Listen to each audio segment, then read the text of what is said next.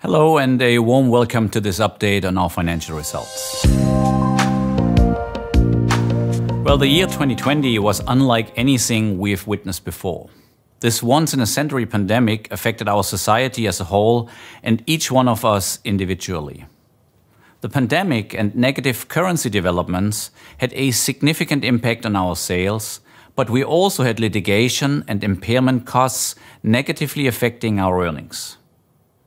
These were challenging circumstances, so I am very happy to tell you today that we've managed to deliver on our updated financial outlook. The core earnings per share of 6.39 euro are slightly above the prior year level, and yes, that shows the resilience of our business. We also reduced our net financial debt, supported by our strong operational cash generation.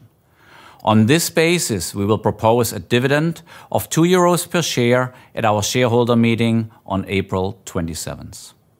For 2021, we expect sales growth of approximately 3% and core earnings per share slightly below the 2020 level. That's prior to currency effects, which will again be a challenge this year. Despite the pandemic, we don't stop to advance our company. For example, we just set ourselves ambitious goals to foster inclusion and diversity at Bayer. We also make good progress on our sustainability commitments to help more people thrive and to make our operations carbon neutral by 2030. I truly believe in the power of innovation to solve humanity's challenges. We have seen this with the rapid development of COVID-19 vaccines.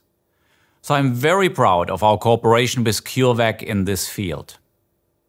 Also in other areas, we see huge potential from innovative research. For example, we expect cell and gene therapies to be the next big thing in healthcare. Our goal is to be at the forefront of this disruptive trend. So we created a new platform bundling our activities in this area, including the acquisitions of BlueRock and AskBio.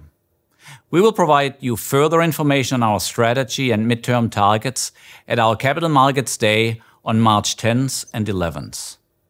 Thanks for tuning in, and please stay healthy.